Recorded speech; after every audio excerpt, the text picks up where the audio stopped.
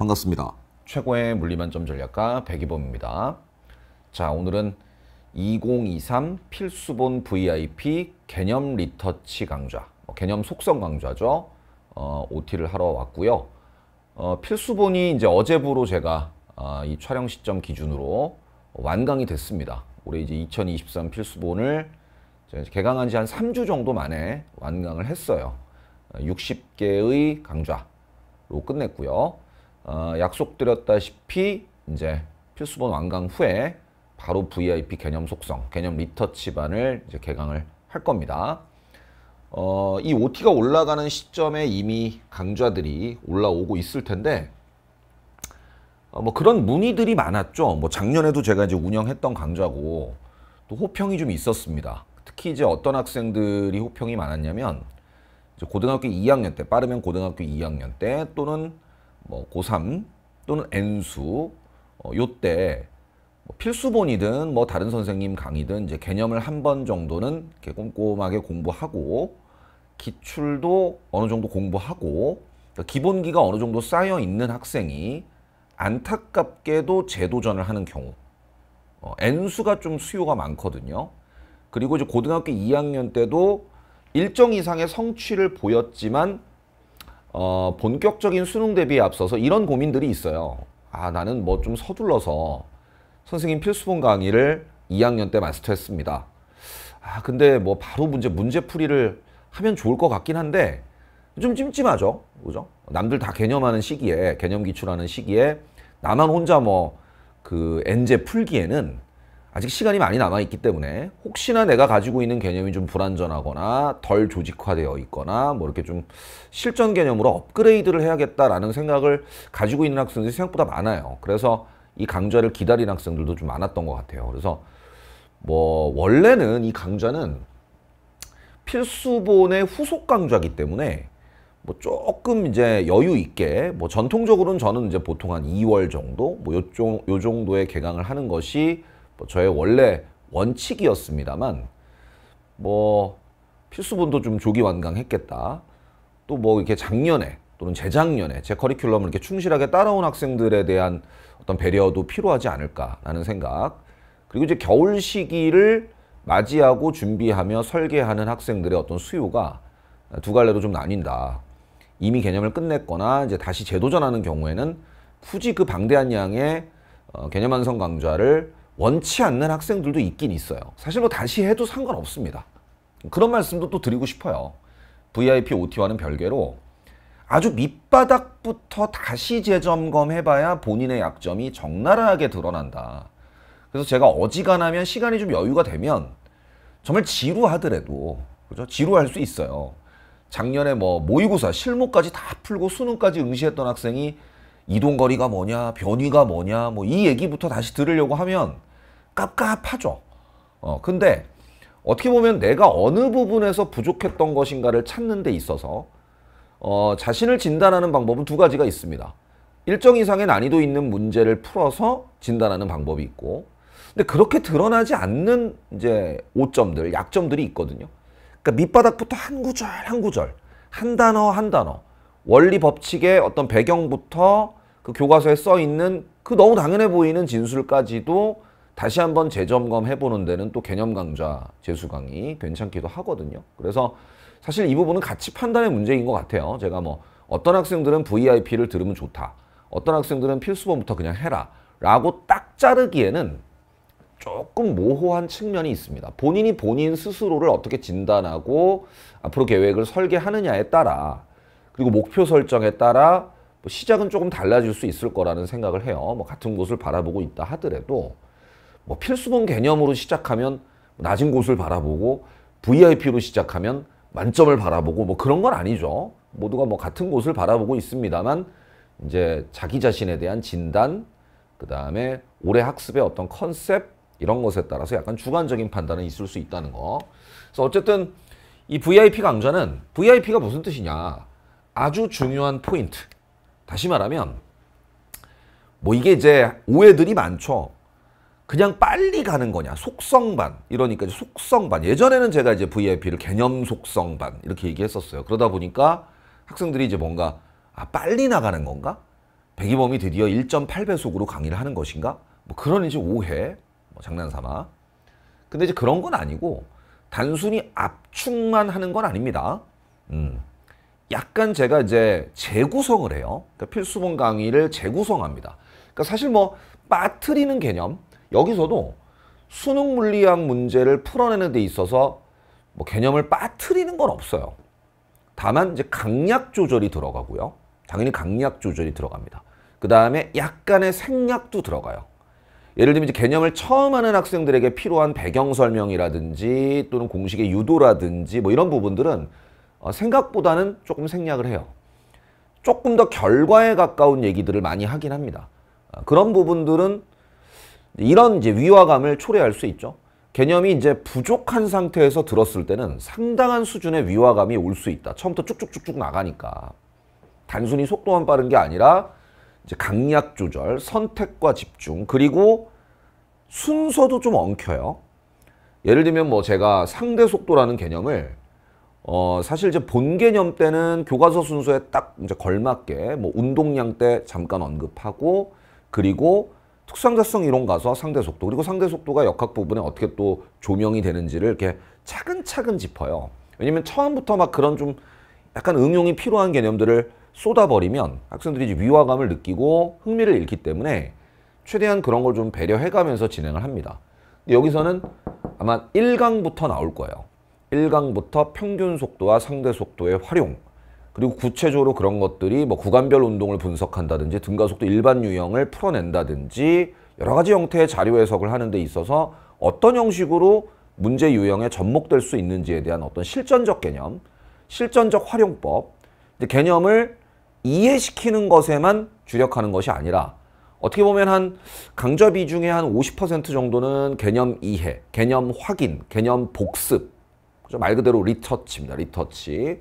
그런 것에 좀 주력하고 있다면 나머지 50% 정도는 개념 일반 개념 완성 강좌에서도 다루긴 합니다만 활용, 분류, 그다음에 유형에 대한 접근법의 유불리, 장단점, 그죠? 풀이법들을 좀 더 구체적으로 제시하고 바로바로 바로 문제를 푸는 그러니까 개념 강좌 같은 경우는 문제도 순서대로 가죠. 순서대로 가고 제가 한 문제도 빠짐없이 다 풀어드립니다. 근데 어, 이 리터치 강좌는 VIP 강좌는 다 풀어드리진 않아요. 예. 그 이제 좋아하는 학생들도 있고 싫어하는 학생들도 있어. 어. 근데 싫어하면 짱 의심해봐야 돼. 나는 이거랑 안 맞을 수 있는 거야. 그러니까 싫어하면 그냥 필수본을 듣는 게 정신 건강에 좋을 수 있습니다. 예. 그러니까 이제 이거는 조금 들어보고 결정해도 상관없어요. 뭐 요새 뭐 대부분의 경우에는 이제 패스를 가지고 있으니까 그리고 또 이것도 교재도 필수본과 동일하잖아. 그러니까 호환이 된다는 거지. 필수본 교재를 가지고 VIP를 들을 수도 있고 또 필수본을 들을 수도 있고 또 필수본을 다 듣고 나서 아 복습을 하고 싶은데 필기 노트만 읽으니까 복습하는 느낌이 안 난다. 나는 좀 더 효율적이고도 좀 발전적 복습을 하고 싶다라고 하면은 저 강좌를 듣는다라고 하는 것의 장점이잖아. 조금 꾸준하게 스케줄링을 할 수 있다는 거. 조금 누군가의 케어를 받으면서 복습을 하는 느낌이 난다는 거. 뭐 그런 느낌이 나기 때문에 필수본을 듣고서 그 교재를 가지고 다시 보셔도 괜찮습니다. 아주 중요한 포인트들 위주의 선별학습, 집중학습, 그 다음에 재조직화, 구조화하는 학습이라는 거죠. 좀 어려운 단어인가요? 그래서 이제 단순히 빠르게 하거나 반복하는 것. 그러니까 이제 필수본을 리바이벌하는 강좌는 아니다라는 거예요. 그래서 뭐 여러 가지 이제 컨셉이 있죠. 오해를 좀 안 했으면 좋겠는데 물론 분량도 상당히 압축을 합니다. 전체 강의 분량이 50% 미만이에요. 그 이제 제가 뭐 예상하기로는 한 24강에서 한 26강 정도 예상해요.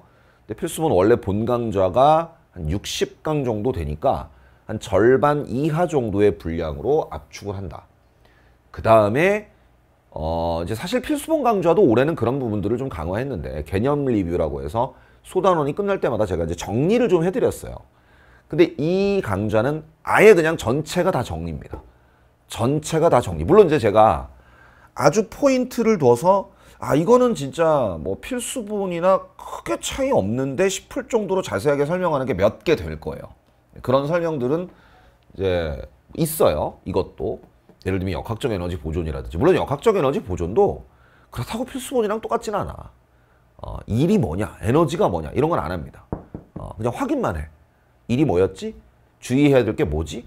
어, 이렇게 이제 확인을 합니다. 그러니까 기본적으로 깔려 있는 전제는 한 번 했다. 그죠? 한 번 이미 들었다. 그래서 듣기만 한 게 아니라 어느 정도도 알고 있다. 어, 어느 정도 의미 있는 성취를 좀 한 학생들이라는 거. 그러니까 지금 뭐 굳이 N수는 좀 기준을 편하게 제시할 수 있을 것 같아요. N수생 같은 경우는 작년 수능에서 한 2등급 이상의 성취를 했다면 들을 때 상당히 도움이 많이 될 거예요. 어, 3등 이렇게 이제 이런 거 나누는 건 참 가슴 아프긴 한데 3등급 이하였으면 그냥 필수부부터 다시 하는 게 좋을 수도 있어. 어, 작년에 2등급 이상의 성적을 이미 얻었다. 아, 그러면 그냥 이거 듣는 게 더 이제 시간적으로도 효율적이고 본인이 듣기에도 더 편할 수 있어. 아이러니하게. 더. 막 빠르게 빠르게 빠르게 빠르게 막 하는데 뭐 알고 있다고 전제하고 막 하는데도 더 잘 꽂힐 수 있어요. 왜냐하면 핵심적인 부분들만 탁탁 건드리기 때문에 그러니까 학생들이 그러더라고 요새는 뭐 도움이 될까 해서 이거 이해할까 이거 이거 좀 설명해 주면 좀 이해가 잘 될 텐데 해서 설명해 주면 좀 돌아간다라고 이제 비판하는 학생들이 좀 있는데 성질 급한 학생들 빨리 결론부터 내놔라 이거지. 빨리 문제 어떻게 푸는지 알려달라 이거죠. 저는 꼭 바람직한 것만이라고는 보진 않는데 뭐 마음은 또 이해가 가거든요. 수험생이다 보니까 조금 빨리빨리 빨리빨리 좀 하고 싶은 진도 나가고 싶은. 그런 성격의 학생들에게는 상당히 괜찮을 거예요. 강의 구성 자체가 호흡 자체가. 그 다음에 이제 학습 효율 면에서는 어쨌든 뭐 시간과 그 다음에 성취. 그죠 확장적인 어떤 그 개념 학습을 좀 확장적으로 조금 더 이제 문제를 아주 염두에 둔 개념 학습. 원래 개념 학습도 문제풀이를 당연히 염두에 두곤 합니다만 이거는 완전히 그냥 문제를 풀기만을 위한 문제를 효율적으로 풀어내기만을 위한 개념 정리라고 보시면 됩니다. 그러니까 진짜 뭐 본격적으로 이제 뭐 기출문제나 엔제 류의 어떤 강좌들을 본격적으로 수강하고 풀어내기 이전에 딱 그냥 짧은 시간에 이 맘먹으면은 이 강좌는 맘먹으면은 한, 한 2, 3주? 어, 보통은 제가 이제 권장 수강 기간은 한 6주 정도 드립니다. 아, 제가 그 안에 또 완강을 할 것이고요. 그러니까 뭐 6주 정도 안에는 수강을 하는 게 더 좋다 오히려. 어, 너무 규칙적으로 한답시고 저 일주일에 두 개씩 들을래요. 12주 동안 들을래요. 뭐 이런 건 이제 굉장히 바람직하지 않아요. 일주일에 한 서너 개씩 들어서 그냥 한 6주 정도 뭐 이렇게 마무리하는 것이 바람직하다라고 보여지는데 그래서 이제 뭐 개념과 개념의 관계 그죠? 조직화 그리고 좀 더 이 개념을 어떻게 써먹어야 될 것인가 이 개념이 어떻게 문제화되고 있는가 문제 조건화되고 있는가라는 부분들을 조금 더 설득력 있게 접근을 해드린다 이미 설명한 겁니다. 핵심과 빈출 개념에 조금 더 포커스를 두고 아주 기초적인 개념들은 확인만 한다는 거. 그 다음에 이제 흩어져 있던 개념들을 조금 모으는 거죠. 예를 들면 역학이라고 하면 개념은 그냥 순서대로 진행하잖아.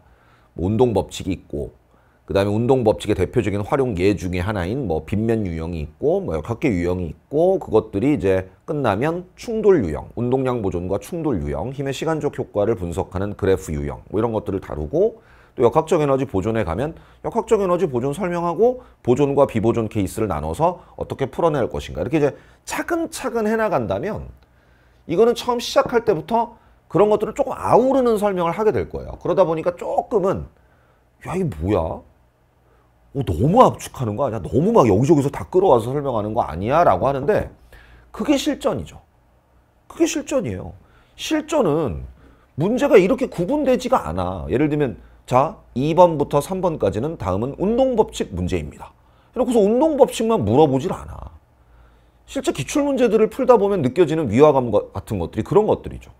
야 이거는 여기서 기억답지에서는 막 가속도 계산하는 거 나오고 운동 계산하는 거 응? 등가속도 막 써가지고 그럼 니은 답지에서는 힘 판단하는 거 나오고 뭐 장력 계산하라고 하고 디귿답지는 뭐 C의 역학적 에너지가 증가량이 뭐 A와 B의 운동 에너지 감소량과 어떤 관계인지를 막 물어보고 정신사납죠. 막 다 나와요.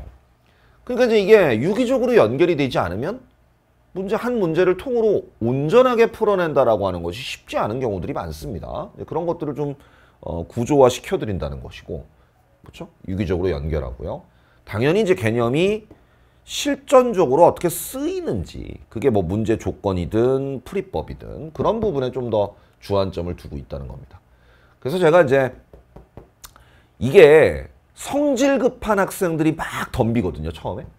야, 이거 되게 좋대. 그리고 이거는 수강평이 대체로 좋은, 좋은 것만 올라와요, 대부분. 보시면 알, 알겠지만, 이거는 어느 정도 그래도 좀 개념이 되어 있는 학생들을 이제 데리고 수월성 있게 학습을 끌어나가다 보니까 호평이 좀 많은 편이야. 뭐 다른 강좌라고 해서 제가 호평이 뭐 없는 건 아닌데 뭐 전체 학생 전체 집단을 대상으로 하다 보면 저는 이제 또 수만 명을 상대로 하는 강사다 보니 그래도 또 호불호가 갈릴 때가 있거든요. 근데 이거는 또 나름 선별이 되다 보니까 또 저의 어떤 특유의 어떤 수업 방식 저는 또 현장을 은퇴했는데 제 대치동 현장에서 마구잡이로 하는 그 저만의 어떤 날것의 느낌 이런 걸 느끼고 싶은 학생들 그리고 이제 제가 요새 PPT 쓰면서 옛 백이범을 기억하시는 분들은 아 백이범은 특유의 그 어떤 판서로 이렇게 막 약간 애드립 치면서 수업하는 그 약간의 그 라이브한 느낌이 그게 백이범인데 그것 때문에 대치동 다녔는데 현장 그만뒀다니까 이게 참 아쉽다 뭐 이런 얘기도 하거든요. 근데 VIP는 최대한 그런 분위기를 살릴 거예요. PPT 안 씁니다. 그냥 제가 책 어디 보시라. 그리고 막 왔다 갔다 왔다 갔다 하면서 막 아, 통합적으로 이제 설명해서 뭐 갑자기 문제도 풀고 약간 여러분들이 예측이 좀 안 되는 그런 날것의 수업을 하기 때문에 아 좀 되게 dynamic하고 재밌다.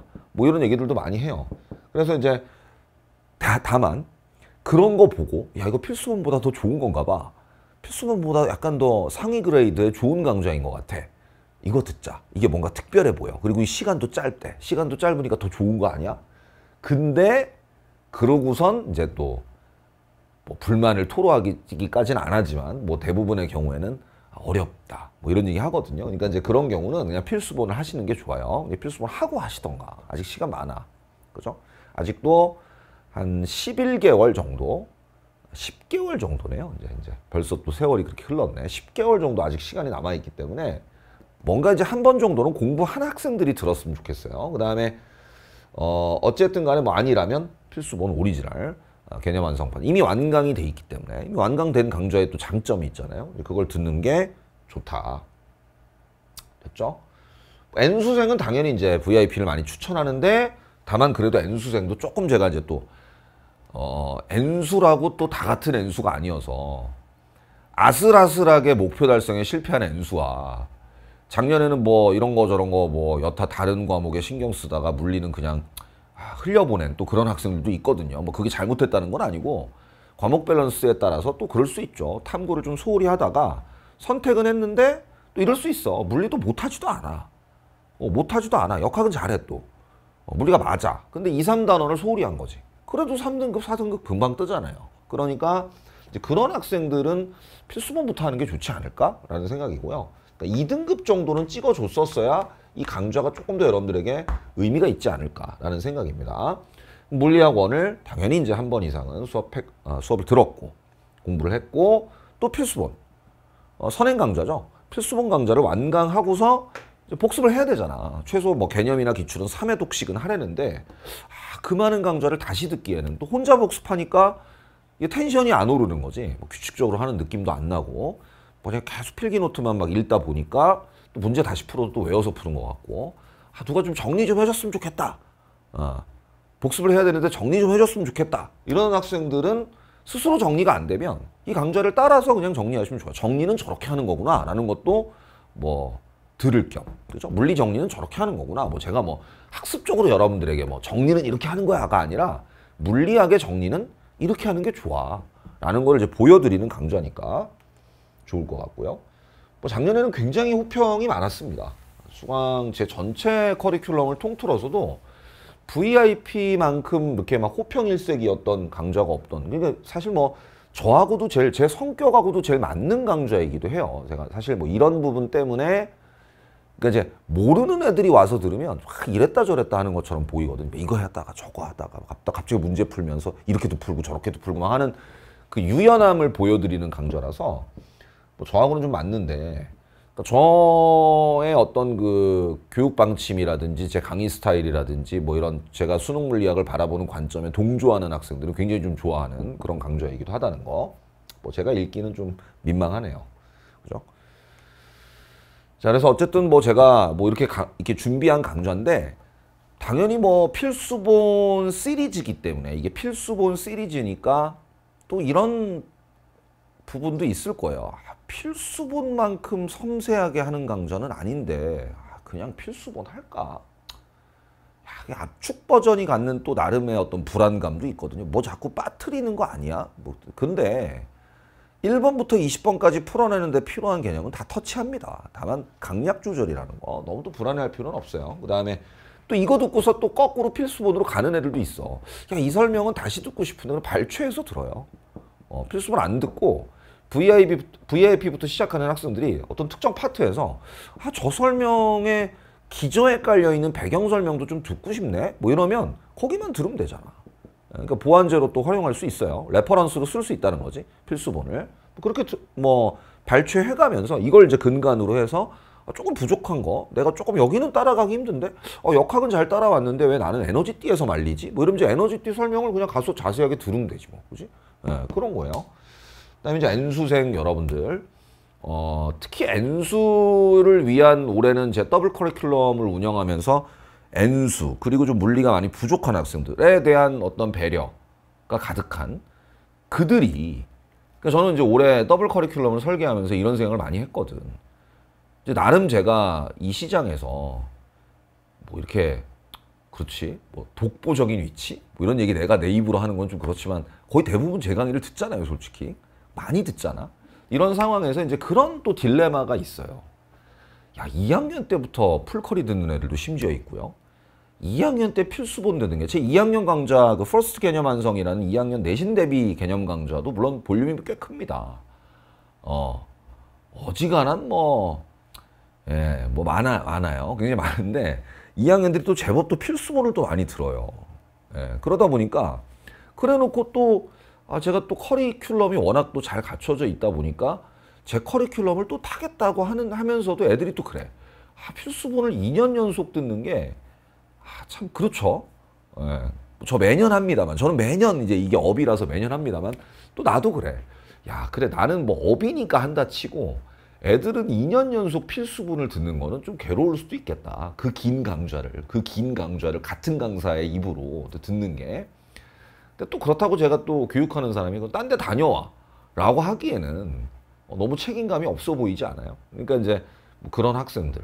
그죠? 여러모로 뭐 제 커리큘럼에 문제풀이 강좌든 모의고사든 뭐 뭐든 끊임없이 개정하고 업그레이드하고 그래서 작년 강좌를 들었던 학생들이 또 듣더라도 뭔가 이게 들을 게 많이 그득그득 쌓여 있으면 그래서 그것들이 잘 역할 분담을 해서 다양한 어떤 수강 시나리오들을 의미 있는 수강 시나리오들을 뭐 엮어드릴 수 있다라고 한다면 그게 또 나의 업이고 책임감이 아니겠는가라는 생각으로 커리큘럼들을 계속 보강해 가고 있거든요.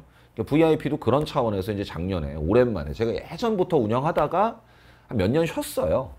쉬다가 이제 작년에 메가로 제가 다시 돌아오면서 오랜만에 또 부활한 커리큘럼인데 몇 년 만에 부활한 커리큘럼 치고는 너무 호평이어서 저도 너무 보람찼고 올해도 작년보다도 더 업그레이드된 VIP 내에서도 늘 이제 제가 작년에 했던 그 강좌를 스스로 뛰어넘을 수 있도록 더더욱 더 학생들에게 의미 있는 수강 경험이 될 수 있도록 또 열심히 준비를 하고 또 빠르게 빠르게 여러분들이 또 따라오기 버거울 만큼 또 찍어서 빠르게 완강을 하려고 합니다. 처제가 여러분들보다 뭐 여러분들의 학스페이스보다 뒤쳐져서는 안 될 테니 뭐 그러려고 또 현장도 그만두고 뭐 일을 하고 있, 있는 거니까 시원시원하게 이렇게 빨리 올려드려서 여러분들이 원활하게 따라오고 정리할 수 있도록 또 다음 커리큘럼에 매진할 수 있도록 이렇게 준비를 할 거니까 하여튼 뭐 잘 기대하시고 어, 역시 믿음이 중요하겠죠. 뭐 제가 이제 제시해드리는 여러 가지 정리, 방향성, 문제풀이의 컨셉 이런 것들을 잘 이해하시면서 저랑 동기화해 나가시면 어, 한 두세 달 정도의 시간 내가 늘 강조하는 시간이잖아. 두세 달 정도를 인내하며 잘 믿고 따라오면 결국에는 굉장히 밝은 걸 보게 될 거다. 뭔가 아, 이게 물리가 진짜 효자 과목이고 야 이렇게 한 번 이렇게 두세 달 고생해서 한번 끝내놓고 나니까 야 이런 과목이 없구나라는 거 뭐 그런 것들을 그런 경험들을 충실히 할 수 있도록 최선을 다하도록 하겠습니다. 하여튼 뭐 너무 어, 반가웠고요. 하여튼 뭐 1강에서 1강에서 여러분들을 또 어, 좋은 강의, 좋은 강의 또 이게 100여 만의 그 라이브함이 살아있는 그런 강의로 찾아뵙도록 하겠습니다. 수고 많았습니다. 감사합니다.